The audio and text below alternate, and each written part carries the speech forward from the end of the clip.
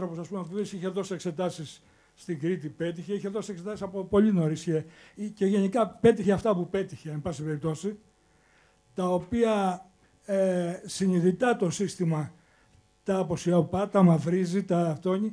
Ε, ας πούμε, κατέληξε χθες πριν δύο χρόνια, δεν ξέρω, ένα άλλο κανάλι να βγάζει ανώτερο Έλληνα όλων των εποχών τον Κωνσταντίνο Καραμαλή με ψηφοφορίες, μάλιστα μάζε και ψήφους έτσι με διαδικασίες. Λοιπόν, το ερώτημα τώρα και στους τέσσερις είναι που δεν θέλω να απαντηθεί τώρα, δεν μπορεί να απαντηθεί. Ή μάλλον είναι ε, το ερώτημα είναι σε, σε όλη την ομίγυρη εδώ πέρα, η οποία είναι εκλεκτή και με συγκλονίζει το θέμα ότι είναι το, το νεολαία. Ε, ας πούμε, ε, είναι συγκλονιστικό αυτό. Ε, το, το ερώτημα είναι το εξής. Οι, οι, οι αναλύσεις και οι δικαιολογίες και οι μελέτες όλες έχουν γίνει. Ε, ε, ένας Βενιζέλος αυτή τη στιγμή δεν μπορεί να βρεθεί και να παιχτεί το ίδιο αυτό. Ε, μια ομάδα, το Forum, το Greek Policy, δεν ξέρω, μπορεί να, να, να μεθοδεύσει έναν τρόπο, έναν δρόμο, να αρχίσει η σύνθεση. Δηλαδή αυτή τη στιγμή αυτά που συζητάμε εδώ πέρα, μόλις έγιναν οι εκλογές του 12 το, τον Ιούλιο, αμέσως ο, ο Αλέκος Παπαδόπουλος είπε το Σεπτέμβριο, πολυλογώ, ε. Κύριε, ναι, κύριε Φλόρε, πολυλογείτε και... Δύο λεπτά, μισή κουβέντα. Ο Αλέκος Παπαδόπουλος είπε ε, κάθε τετραετία εκλογές, η απλή αναλογή κλπ. Αυτό το παίξανε Δημάρ, συνασπισμός, ε, Μανώλης Γλέζος, ε, ο, ο Βενιζέλος, ε, κομματικά στελέχη, λιγότερο το παίζανε αυτοί. Η Νέα Δημοκρατία δεν μιλούσε καθόλου. Ο Τσίπρας έκανε επιτροπή συνταγματολόγων υπό τον Κωνσταντόπουλο και με λίγα λόγια, δύο χρόνια ε, παίζεται... Κάντε την ερώτηση σας μόνο αν έχετε ε, το, το ερώτημα είναι αν μπορούν εσείς όλοι ας πούμε, να, να απαντήσουμε πώς θα αρχίσει η σύνθεση. Ένας δρόμος για την αναθεώρηση. Βατός. Ευχαριστώ. Ναι, ευχαριστούμε πολύ. Απλά να πούμε ότι δεν είναι ο ρόλος μα. αδικηθεί κάτω αριστερή Ούτε να βρούμε εμείς φυσικά τον άνθρωπο, ούτε να ενισχύσουμε τη συμμετοχή δημοκρατία από το εξωτερικό. Ευχαριστώ που το αναγνωρίσατε. Ε, το δικό μου θέμα είναι το εξής. Ανήκω σε μια πρωτοβουλία πολιτών που, λέει, που είναι για την ριζική συνταγματική αλλαγή από τον λαό. Ε, βεβαίως με καθηγητάς και τα λοιπά, συνταγματολόγους. Και αποφασίσαμε να στείλουμε ένα γράμμα στη Βουλή, το οποίο έλεγε ότι αν ήταν δυνατόν να ανοίξει ε, στη Βουλή ε, μέσω του διαδικτύου να μπορούν οι πολίτες να θέσουν τις ε, απόψεις του για ορισμένες προ, προτινο, προτάσεις για αναθεώρηση. Και αυτό έγινε όταν πρώτο αναφέρθηκε η αναθεώρηση, γιατί έχει αναφερθεί πολλές φορές και πάντα δεν γίνεται. Λοιπόν, αγνοηθήκαμε εντελώς. Πήγαμε ένας συνάδελφος και εγώ, παραδώσαμε το γράμμα, πήραμε αριθμό πρωτοκόλου, δεν μας απάντησε κανείς ποτέ. Και θέλω να ξέρω πώς διαδίδεται κάτι τέτοιο στη Βουλή; Το μάθατε εσείς ότι έφτασε ένα τέτοιο γράμμα; Μπορεί βέβαια να μην ήσασταν εκεί, δεν ξέρω. Το μάθατε; Αυτό το, το γράμμα πού πήγε, σε κάποιο σιρτάρι, στην κατάψυξη, στο πού; Αυτό μόνο. Ευχαριστώ. Ας πάρουμε άλλη μια ερώτηση. Ναι. Ε, εγώ περισσότερο δεν θέλω να κάνω ερώτηση. Όσο ακούω όλη αυτή τη συζήτηση που έχει ανοίξει για τη συνταγματική αναθεώρηση, ε, μου έρχεται συνέχεια στο μυαλό, κύριε καθηγητά, δεν ξέρω αν το έχετε ε, ακούσει ποτέ, ε, τα λόγια του Αριστόβουλου Μάνηση, που είχα την τιμή και την χαρά και την ευτυχία να τον προλάβω καθηγητή, ο οποίος έλεγε, παιδιά, το Σύνταγμα δεν είναι τσιφτετέλη, δεν μπορούν να το κατανοούν όλοι και δεν μπορούν να συμμετέχουν όλοι. Δεν ξέρω κατά πόσον αυτό είναι σωστό ή αν συμφωνούμε όλοι σε αυτό, αλλά βλέποντας το ερώτημα της ε, εκδήλωσης, και έχοντας κατά νου όλο αυτό το πολιτικό προσωπικό και όλο αυτό το πολιτικό σύστημα που έχει εδρεωθεί και έχει περάσει όλα αυτά τα χρόνια της μεταπολίτευσης ε, στη χώρα, το οποίο δεν έχει καμία συνέπεια στα λόγια και στις πράξεις του, εμένα με τρομάζει το γεγονός ότι η συνταγματική αναθεώρηση είναι στα χέρια αυτού του πολιτικού προσωπικού και δεν ξέρω τι μπορούμε να κάνουμε σαν κοινωνία και γι' αυτό ίσως θα πρέπει να ανοίξει να μπορέσουμε να γίνει ένας σοβαρός διάλογος, αν γίνει κάποια αναθεώρηση, να είναι τουλάχιστον σοβαρή και με εχέγγυα για το μέλλον των παιδιών μας. Ωραία. Ε, να απαντήσετε καταρχάς, κύριε Δήμα, στην ερώτηση σχετικά με την επιστολή, με την ιδιότητά σας. Ε, λοιπόν, αρχικά θα, θα, θα τα πάρω αντίστροφα. Ε, λέτε σας ανισχύει το πολιτικό προσωπικό. Το πολιτικό προσωπικό το ψηφίζουμε εμείς. Έτσι, πολύ απλά πράγματα. Ε, εμένα, ας πούμε, με έστειλε ο κόσμος από την Κορινθία. Τον κύριο Τσακυράκη εδώ πέρα αποφάσισε, αποφάσισαν οι ψηφοφόροι. Ναι, μεν τον τιμήσανε, δεν εξελέγει όμως ευρωβουλευτής με το ποτάμι. Αντιστοίχως, ο κύριος Ραγκούσης, όταν εξελέγει βουλευτής, εξελέγει από τους ψηφοφόρους ε, του Πασόκ στην, στην Β' Αθηνών. Ο κόσμος επιλέγει τους πολιτικούς. Έχουμε τους πολιτικούς που εμείς ως κοινωνία συλλογικά ψηφίζουμε. Αυτό είναι ξεκάθαρο. Η, η, η άποψή σας η, η άποψή σας είναι αυτή. Εγώ σας εκφράζω τη δική μου άποψη. Ψηφίζουμε τους πολιτικούς μας. Αν, αν το εκλογικό. Εάν, εάν, εκεί θα συμφωνήσω μαζί σας, το είπα και στην ομιλία μου. Εάν το εκλογικό σύστημα μπορεί να φέρνει κάποιο διαφορετικό αποτέλεσμα, αυτό το συζητάω. Αλλά η ψήφος μας και γι' αυτό πρέπει να παίρνουμε πολύ σοβαρά την ψήφο μας. Γι' αυτό πρέπει να σκεφτόμαστε δύο και τρεις φορές πριν πάμε να ψηφίσουμε. Σαφέστατα και έχουμε επιλογή. Δεν, δεν, πόσα πολιτικά κόμματα είχαμε σε ευρωεκλογές, πόσα πολιτικά κόμματα; Ε, ωραία, μπορείτε μέσα. Μέσα. μέσα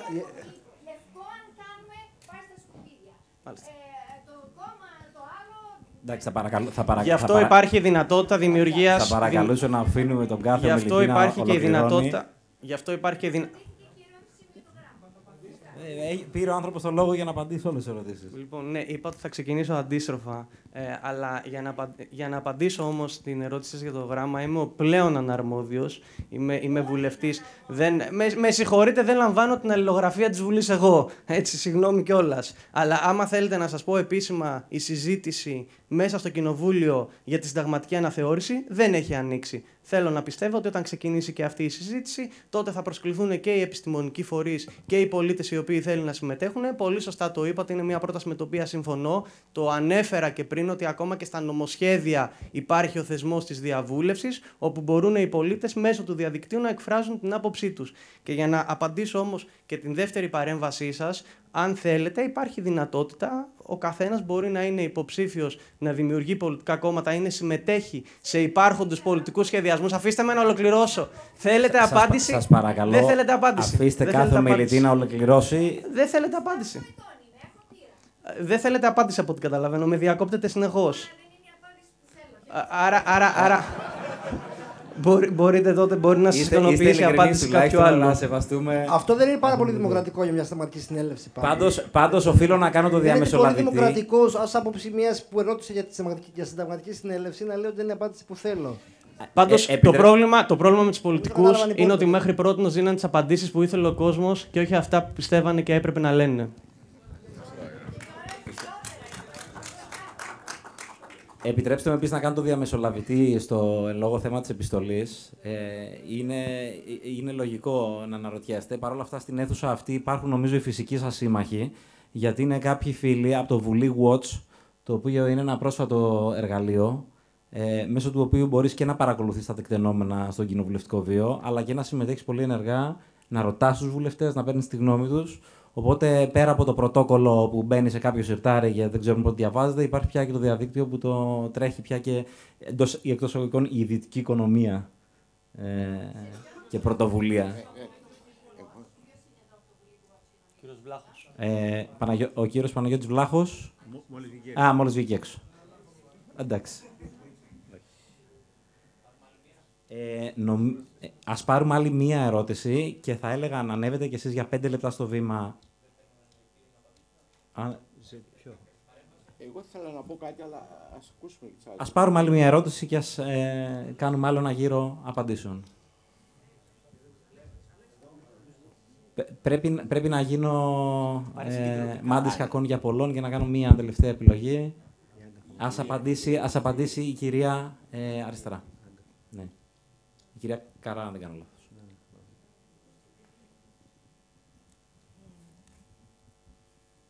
Πρέπει να το δώσετε στο χέρι της. Πιάστε το χέρι της. Ευχαριστώ πολύ. ε, για το μικρόφωνο. Ε, αφού ζητήσω συγγνώμη για τον ήχο του κινητού που ακούστηκε πριν, ήταν απαράδεκτο, ε, το δικό μου. Ε, θα ήθελα να υποβάλω και εγώ με τη σειρά μου μια ερώτηση στους ομιλητές. Ε, εγώ θα κάνω την επιλογή της ερώτησης, οπότε οι ίδιοι ομιλητές θα επιλέξουν ποιος θα απαντήσει. Το αφήνω στην κρίση τους.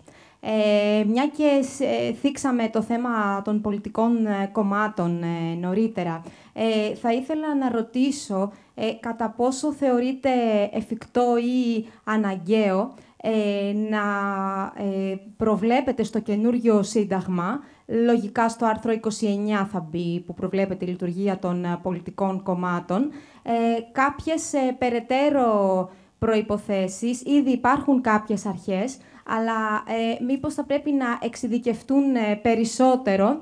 Ε, τα, ε, από την αρχή της μεταπολίτευσης μέχρι σήμερα δεν είχαμε περίεργα φαινόμενα και γι' αυτό και δεν μας έχει απασχολήσει το θέμα και στις προηγούμενες αναθεωρήσεις. τώρα είδαμε όμως πολιτικά κόμματα να λειτουργούν με το μανδύα ενός πολιτικού κόμματος ε, που ενώ διακηρύσουν ότι σέβονται ε, τις αρχές του δημοκρατικού πολιτεύματος ε, όχι μόνο να μην τις σέβονται αλλά να προβαίνουν και σε αξιόπινες πράξεις πρωτόγνωρες για τα πολιτικά χρονικά τουλάχιστον από όσο εγώ θυμάμαι. τώρα και όσο για, το, για, το, για τη συμμετοχή των πολιτών στην ε, αναθεώρηση του συντάγματος. Νομίζω ότι ε, η άμεση δημοκρατία με την ε, τεχνολογική πρόοδο έχει καταστεί πλέον ευχερέστερη και μπορούμε άνετα να χρησιμοποιήσουμε και το διαδίκτυο έτσι ώστε να γίνουν ε, να, πλατφόρμες διαλόγου για το Σύνταγμα που και οι πολίτες και οι ομάδες πολιτών να μπορούν να καταθέτουν τις απόψεις τους και να λαμβάνονται υπόψη. ευχαριστώ πολύ. Θέλετε να ξεκινήσουμε ανά, ανάποδα τώρα, ε, κύριε Ραγκούση; Όχι.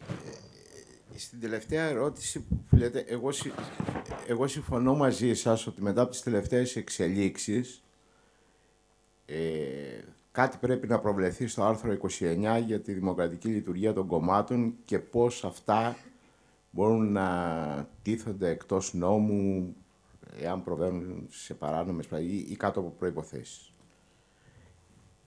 άσχετα, λέω ότι γενικά, μην μου πείτε ότι το προτείνω, αλλά είναι προφανές ότι τα τελευταία γεγονότα που έγιναν ε, γίνονται χωρίς μια αντίστοιχη στο Σύνταγμα πρόβλεψη και έτσι δημιουργούν ζητήματα νομιμότητας. Ήθελα όμως να σας πω το εξής, ότι μια γενικότερη παρατήρηση να κάνω. Ξαναμπήκαμε σε αυτή τη λειτουργία. Μέχρι ένα σημείο είναι λογικό. Όταν συζητούμε για την αναθεώρηση, θα μου πεις θα, θα πούμε το 86 και θα, θα σηκωθούμε να φύγουμε. Όμως, σας καλώ πάλι να δείτε τους χρόνους. Μιλάμε ότι μπορεί να γίνουν εκλογές. Άλλοι λέει, άλλος λέει το Νοέμβριο, άλλος λέει το Φεβρουάριο. Μπορεί να γίνει ξαφνικά, δηλαδή να ξυπνήσει μια μέρα ας πούμε, και να βρεθείτε σε 30 μέρες πάμε εκλογές. Δεν είναι ότι το, το φανταζόμαστε. Και ερχόμαστε και λέμε ότι σε αυτέ, αυτό, αυτό το ενδεχόμενο, το να πάμε σε εκλογές και να διαλυθεί αυτή η Βουλή και να πάει η αναθεώρηση μετά από άλλα πέντε χρόνια από την επόμενη Βουλή, πρέπει να το αποτρέψουμε. Και υπάρχει εκεί ένα μίνιμουμ, στο οποίο συμφωνεί θεωρητικά και η κυβέρνηση και οι αντιπολίτες. Το ένα που τους λες είναι το εξής. Να αλλάξουμε το 110.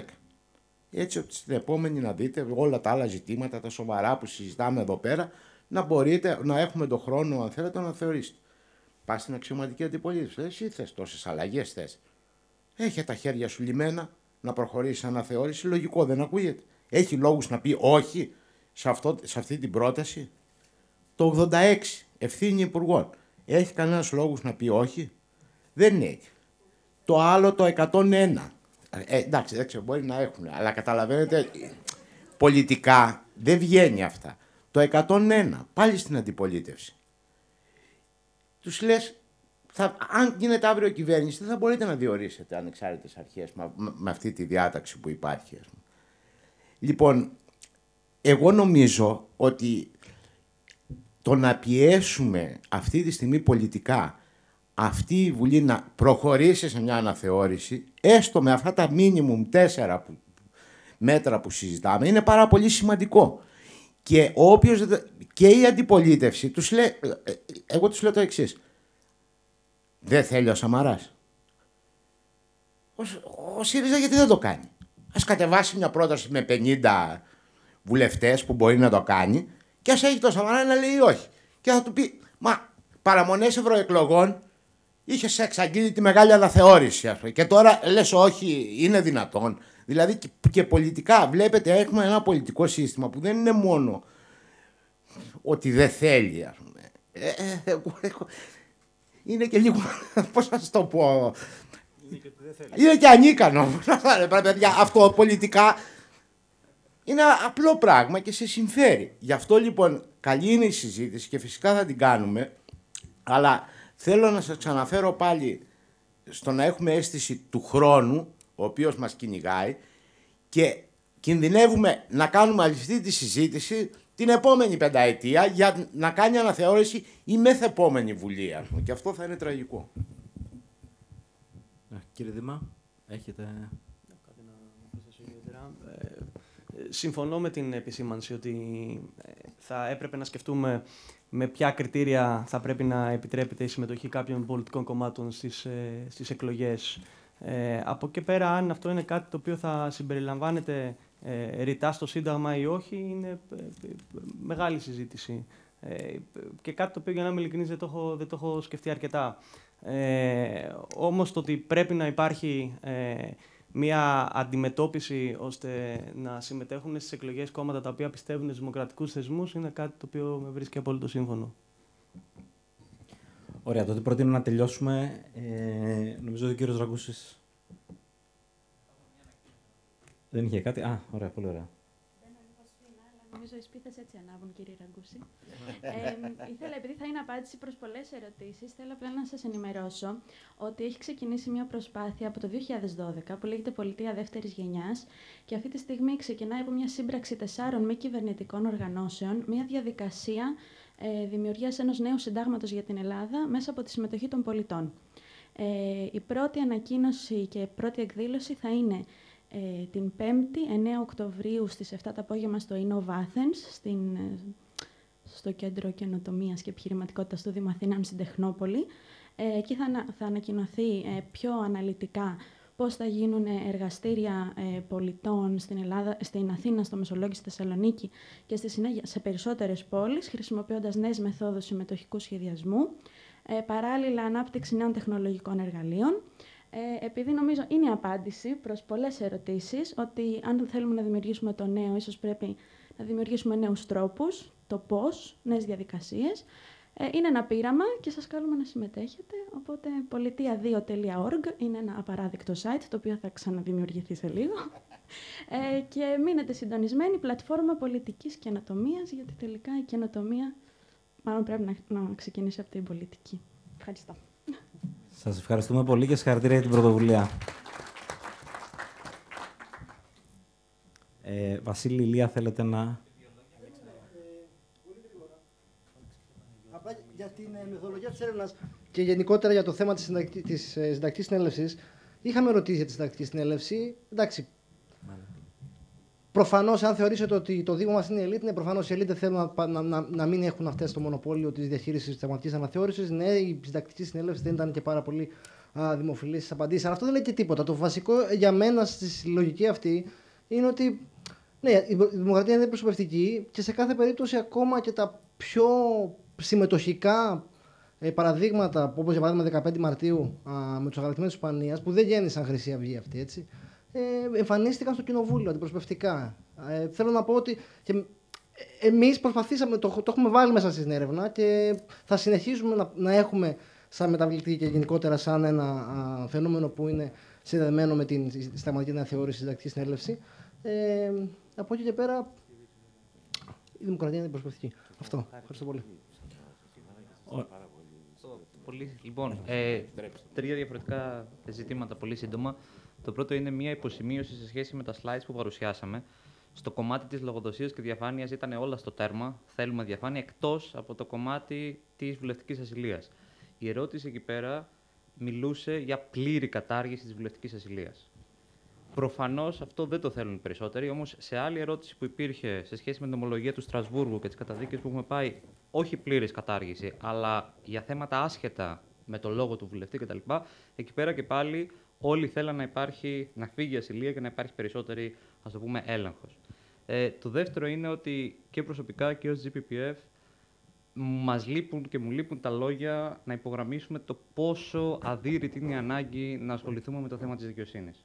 Η Ελλάδα πρέπει να το συνειδητοποιήσουμε. Το έχουμε πει στο το πρώτο συνάντηση που είχαμε εμείς στην Οξφόρδη ως GPPF. Υπήρχε ε, ειδικό section, ειδική ενότητα για αυτό το θέμα. Η Ελλάδα έχει πρόβλημα, πασχίζει από τη δικαιοσύνη. Δεν είναι μόνο η εύλογη απονομή δικαιοσύνης, είναι η ποιότητα των δικαστών μας, είναι το πόσο συντηρητικοί είναι, το πόσο ακτιβιστές είναι εκεί που δεν πρέπει να είναι, είναι ότι τόσα χρόνια δεν παρενέβησαν σε μία σειρά, δεν έλεγξαν τις άλλες εξουσίες.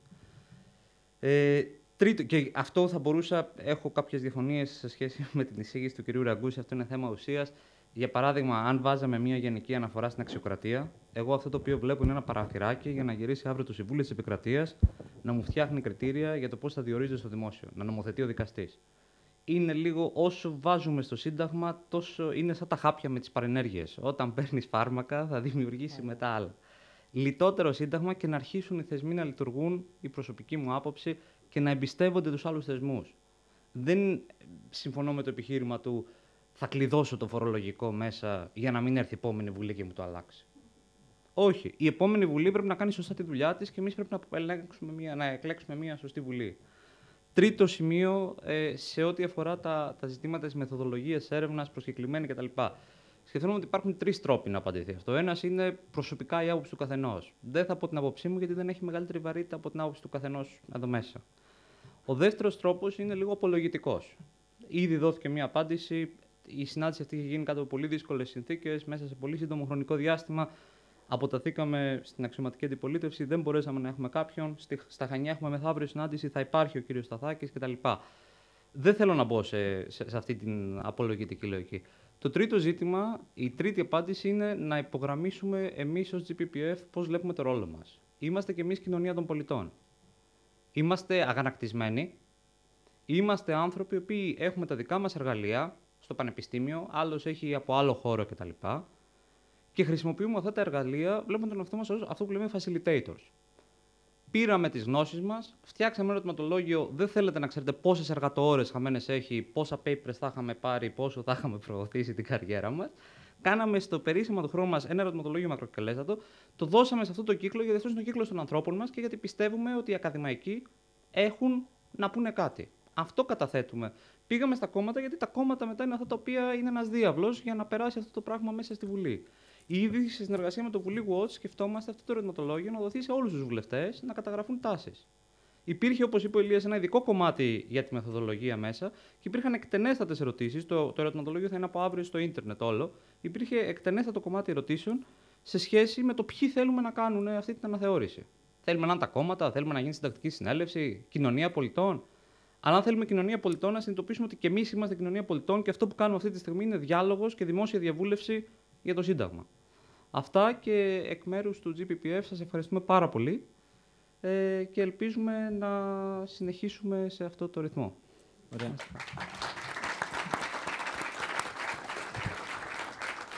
Πριν κλείσουμε επισήμως, νομίζω κύριε Ραγκούση, μου ζητήσατε το λόγο. Θέλω, αλλά όχι γιατί εκφράστηκε διαφωνία, σεβαστή διαφωνία. Προς Θεού, έχουμε πολλή συζήτηση να κάνουμε για όλα αυτά τα θέματα. Απλώς επειδή το ακούω και το ξανακούω και επειδή είπα τώρα κάποια στιγμή να το, να, να, να το πω.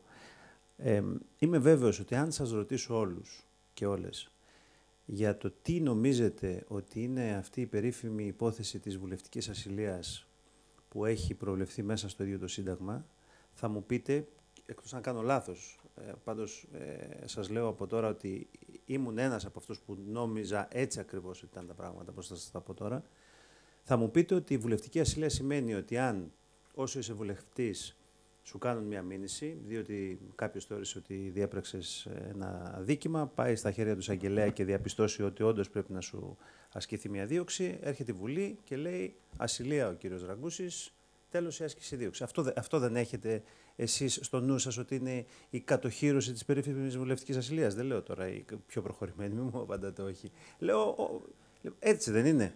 Λοιπόν, δεν είναι έτσι. Το ξέρετε ότι δεν είναι έτσι, αγαπητές φίλες και αγαπητοί φίλοι.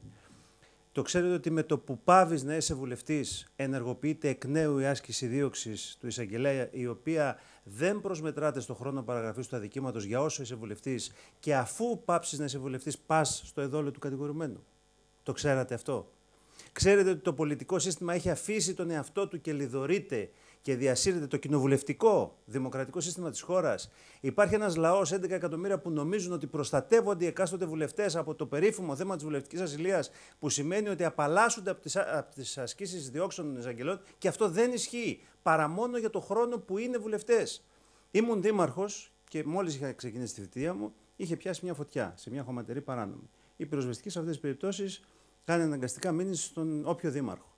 Πήγε η υπόθεση στον εισαγγελέα, λέει ο εισαγγελέας, άσκηση δίωξη, εμπειρισμός από αμέλεια. Είμαι βουλευτής, έρχεται ο φάκελος στη Βουλή, η Βουλή το, το, το, το, ξεπέρασε στα τυπικά, να μην έρθει η βουλευτική ασυλία. Πάβω να είμαι βουλευτής το 2012, το 2013 έκατσα στο εδόλιο του κατηγορημένου. Το ξέρατε, δεν το ξέρατε, δεν το ξέρει κανείς Έλληνας. Ποιος φταίει γι' αυτό; Δυστυχώς φταίει πάλι το, το, το, το, ίδιο το σύστημα των βουλευτών. Δηλαδή έχει δημιουργήσει μια απίστευτη εντύπωση πάρα πολύ αρνητική για το θεσμό, για, για, για τον κοινοβουλευτισμό, για τη δημοκρατία, για τους βουλευτές, για τα πρόσωπα, για τις προσωπικότητες. Και η αλήθεια είναι αυτή που σας λέω εγώ τώρα. Δεν είναι εντυπωσιακό.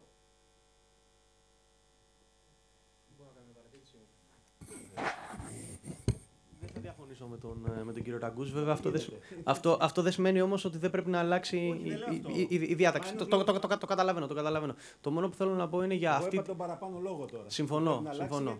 Σα, σαφέστατα. Δεν, δεν το, μόνο, το μόνο το οποίο θέλω να πω είναι ότι η παρούσα Βουλή, μπορείς να, τις, να, να, τις, να πεις χίλια κακά για την παρούσα Βουλή, αλλά έχει κάνει τις περισσότερες άρσεις ασυλίας από, από, από, από, συνολικά που έχουν γίνει από όλες τις προηγούμενες ε, βουλές. Νομίζω το, το είπε και ο κύριος Τσακυράκης πριν, νομίζω το, το είπε νύχτα. Ε, λοιπόν, για να το κλείσουμε, θέλω καταρχάς να ευχαριστήσω πάρα πολύ εκ μέρους του, μπρο- του ΜΠΡΟΣΤΑ, αλλά και εκ μέρους του φόρουμ και τους τέσσερις ε, ε, φίλους που ήταν σήμερα μαζί μας και μας έκαναν τιμή. Κύριε Ραγκούση, κύριε Τσακυράκη, κύριε Δήμα και κυρία Γιανακάκη που λείπει. Βέβαια. Ε, γιατί προφανώς είχατε σπεύσει σε ενέργειες Και εμείς σας ευχαριστούμε. Ωραία. Ε, για την παρουσία σας. Πιο πολύ όμως ευχαριστούμε όλους εσάς που μας ε, τιμήσατε με την παρουσία σας και συμμετείχατε ενεργά. Βλέπουμε αυτή τη διαδικασία ως μια ενεργή διαβούλευση εν ώψη της όποιας αναθεώρησης, ε, όχι μόνο της συνταγματικής, όπως είπαμε και στην αρχή, αλλά ευρύτερα της αναθεώρησης και της ε, μεταρρύθμισης των θεσμών στην Ελλάδα. Και το εγχείρημα αυτό θα συνεχιστεί και από τον μπροστά και από το φόρουμ. Σας ευχαριστούμε. Καλό βράδυ. Ευχαριστούμε. Και